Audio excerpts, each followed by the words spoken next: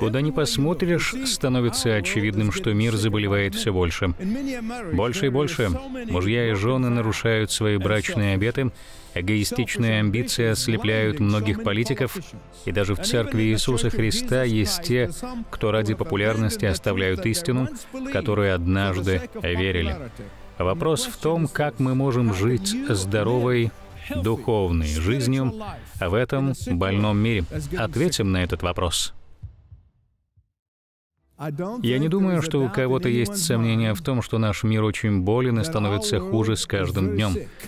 Многих политиков сегодня ослепляют эгоистичные амбиции, а не интересы страны. И даже в Церкви Иисуса Христа есть люди, которые отказались от истины, которую они когда-то проповедовали. Ради популярности и признания сегодня многие браки рушатся из-за нарушенных обетов по причине безудержной похоти и эгоизма. Самая большая опасность для верующих, живущих в этом больном мире, состоит в том, что они могут заразиться мировой духовной болезнью. И вот вопрос, как мы можем жить здоровой, духовной жизнью в больном мире, который становится все хуже. Начиная серию проповедей под названием «Здоровый образ жизни в больном мире», мы будем в частности рассматривать первое послание Павла Коринфянам. Вы спросите, почему я выбрал первое Коринфянам для иллюстрации сегодняшней проповеди. Дело в том, что город Каринф и его культуру можно отождествить с современной западной культурой 21 века. Вы увидите, насколько болезнь, которой подверглись верующие в Коринфе, похожа на нашу болезнь сегодня вы обнаружите, что многие проблемы, на которые Павел указывает в первом послании, являются частью нашего сегодняшнего мира. Многие из болезней той культуры угрожали заразить Коринфскую церковь, и они знакомы всем нам сегодня. В церкви Коринфа Павел стойко борется со многими недугами, которые мы видим сегодня, и поэтому его слова имеют для нас огромное значение и актуальность.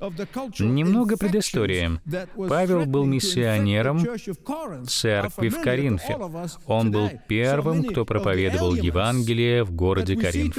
Он основал в Коринфе церковь Иисуса Христа. Эта церковь доставила Павлу немало проблем. Именно поэтому он пишет два своих самых длинных послания в Библии именно этой церкви Коринфа. Но почему? Потому что Каринф был нелегким городом для проповедования Евангелия. Каринф был нелегким городом для верующих. В этом городе нелегко было оставаться верными Господу. Несмотря на эти невероятные препятствия, апостол Павел проповедует Евангелие в Коринфе, и он основал церковь Иисуса Христа в этом городе. Итак, вы можете себе представить, что Павел пытается навести порядок в церкви, среди этой токсичной среды, не говоря уже о человеческой склонности к трению и распрям. Итак, они принесли в церковь безбожный образ жизни. Они приняли безбожную методологию и методы работы в церкви. Они начали применять в церкви мирские техники. Борьба верующих, по сути, заключалась в том, что они хотели сохранить все благословения, полученные благодаря вере в Иисуса, но также они хотели сохранить безнравственность культуры того времени. Они хотели быть одной ногой с Иисусом и одной ногой с истлевающей культурой. Они хотели ходить в церковь один день в неделю, но всю оставшуюся неделю они хотели быть похожими на своих безнравственных друзей. Вот почему Павел говорит им в шестой главе, восьмом и девятом стихах. Он говорит, что это просто невозможно. Так нельзя, потому что рано или поздно что-то возобладает. Люди перепутают приоритеты. Послушайте меня. Это важно. Мы, как и коринфяне тогда, очень часто путаем свои приоритеты. А вот что они делали. Они полностью избегали язычников и мира, которому они должны были свидетельствовать, чтобы привести людей к Иисусу Христу. Но в то же время они были дружны с безнравственными христианами. И Павел говорит, вам наоборот следует избегать аморальных и плотских христиан, но в то же время вы должны с любовью обращаться к языческому миру. Они запутались в своих приоритетах. И он говорит, вам нужно разобраться в этом и все исправить. Что меня поражает, так это то, что он называет их святыми. В разных переводах мы видим, что он обращается к ним не как иначе, как к святым Божьим людям. Только послушайте, что он говорит во втором стихе. «Церкви Божией, находящейся в Коринфе, освященным во Христе Иисусе, призванным святым». Только представьте себе это со всеми призывающими имя Господа нашего Иисуса Христа во всяком месте, у них, так и у нас. Павел называет всех верующих христиан в Коринфе святыми, несмотря на все их провалы и падения. Как так? Возлюбленные мои, послушайте, согласно Слову Божьему, каждый истинный верующий в Иисуса является святым. Каждый рожденный свыше верующий святой. Павел называет святым каждого, кто верит, что Иисус — единственный Спаситель и Господь. Вне зависимости от того, верны они или нет, полностью они преданы Ему или нет, активны они или нет, верно ли они живут для Христа или нет. Но разве это не удивительно? Меня лично это потрясает. А почему? Потому что верующие в Иисуса спасены по благодати, а не по делам — я хочу услышать на это громкое «Аминь». Потому что верующие в Иисуса уже имеют спасение, даже если поступают не так. Потому что для верующих в Иисуса ключевое значение имеют не их дела, а их вера. Эти коринфяне со всеми их недостатками, а они были грешниками по своим делам, но все же они были святыми, по своему положению перед Богом, потому что Бог смотрит на верующих сквозь призму праведности своего Сына Иисуса, который взял наши грехи на крест. Мы уже освящены. Но мы также освящаемся ежедневно вот почему Святой Дух всегда обличает нас в наших проступках. Он не обличает нас в том, что мы уже имеем через веру, потому что спасение — это уже решенный вопрос. Итак, нет ныне никакого осуждения тем, кто во Христе Иисусе. Но обличение приходит на наши проступки.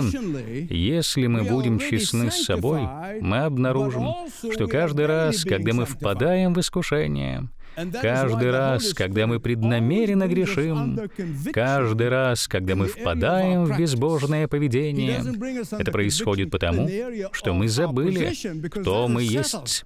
Мы перестали думать, что мы царственное священство, что мы дети царя царей, мы братья и сестры Господа Иисуса, который забрал все наши грехи на крест. И в этот момент нам нужно остановиться и напомнить себе, кто мы, кто наш небесный Папа и кто наш старший брат. Это Иисус, умерший за нас. Нам стоит напомнить себе, что тот, кто в нас, больше того, кто в мире. Живущий в нас сильнее нашего искушения. Тот, кто живет в нас, может дать нам силу вести здоровый образ жизни в этом больном мире.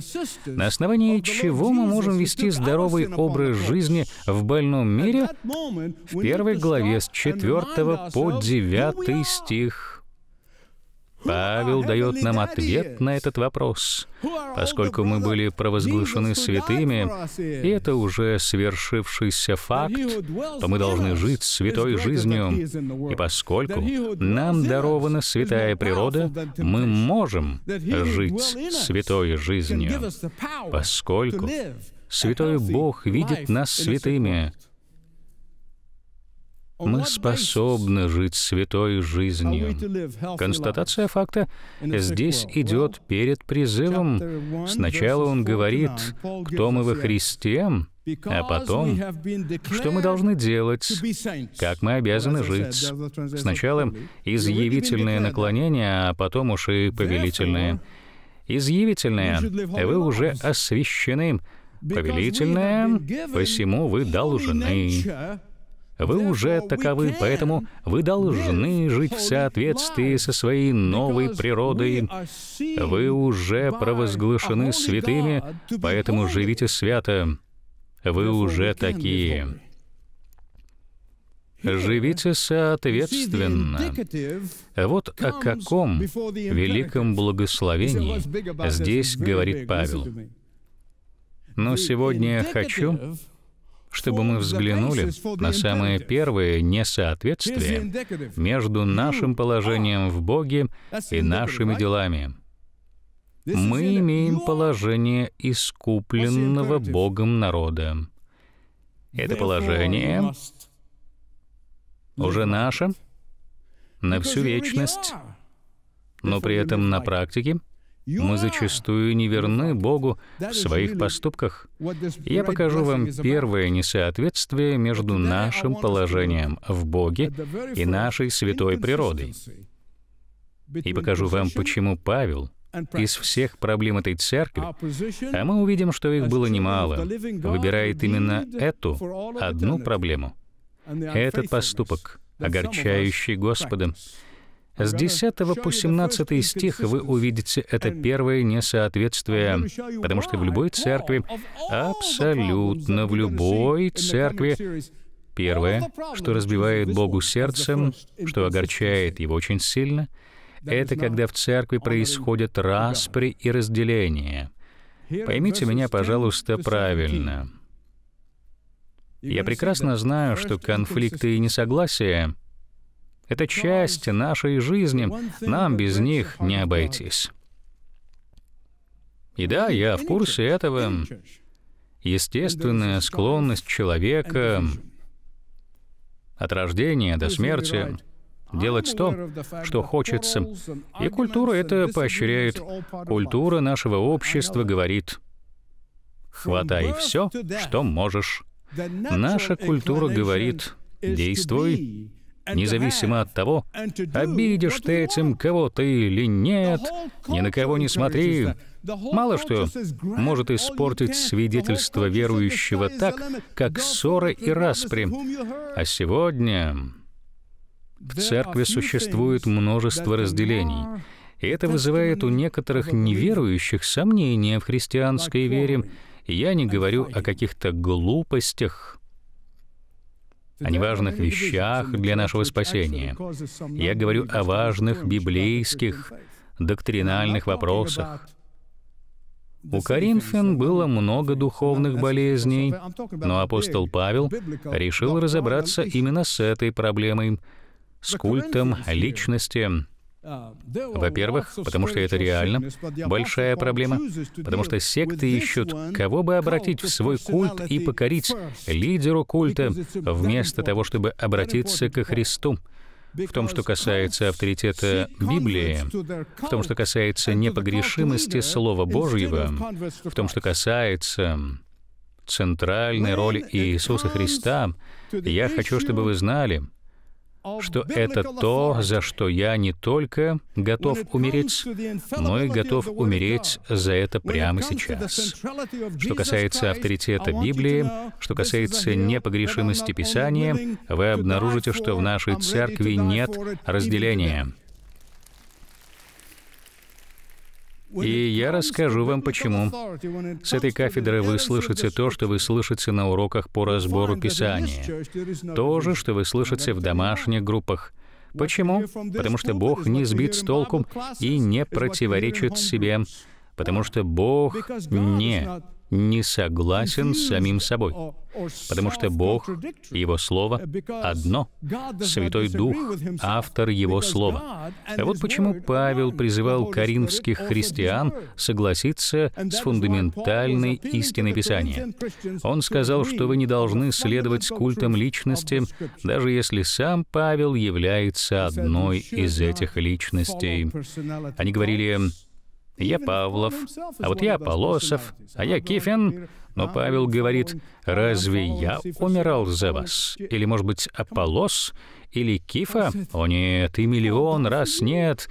Какова главная цель единства во Христе? Для чего нужно единство? Какова его цель? Послушайте, единство во Христе — это воля Божия. Единство во Христе — это воля Божия. Я хочу, чтобы вы сказали сейчас это вместе со мною. Псалмопевец говорил, как хорошо и как приятно быть братьям вместе. В третьей главе первого послания Петра он говорит о единстве между мужем и женой, и он очень ясно дает понять, что когда между мужем и женой нет единства, когда между ними разобщенность, он говорит, вы не увидите ответа на ваши молитвы.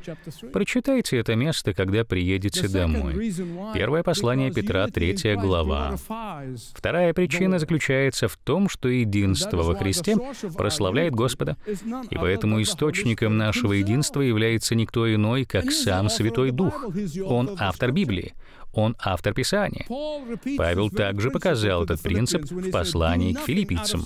«Ничего не делайте по любопрению или по тщеславию, но по смиренно-мудрию почитайте один другого высшим себя». Послушайте, возлюбленные, хождение в Духе, подчинение власти Духом, подчинение Слову Божьему порождает смирение и единство, и, несомненно, вызывает в нас любовь друг к другу, тогда как похотливость исследования своей плоти порождает гордыню, эгоизм, своенравие, и, следовательно, разделение. В заключение я хочу рассказать вам одну историю. Я прочитал эту историю несколько лет назад, и по запрещенным нынче словам вы поймете, что это старая история. Но суть ее по-прежнему актуальна для нас. Я просто прочитаю вам эту историю. Посетитель отправился посетить то, что тогда называлось «сумасшедшим домом». И посетитель увидел, что 100 заключенных охраняют всего три охранника. И поэтому он спросил заместителя начальника тюрьмы. Он сказал, «Разве вы не боитесь, что эти сто человек одолеют трех охранников и сбегут?» Я цитирую вам слово в слово. Заместитель начальника тюрьмы сказал «нет», потому что психопаты никогда не объединяются. Как я уже сказал, мы эти слова уже не употребляем, но именно духовное, истинное здравомыслие объединяет людей во Христе и для Христа. Истинное духовное здравомыслие приносит плод Духа Святого. Истинное духовное здравомыслие привлекает неверующих ко Христу. Оно привлечет ко Христу даже тех христиан, вера которых угасла, когда они увидят это единство, эту любовь и это посвящение.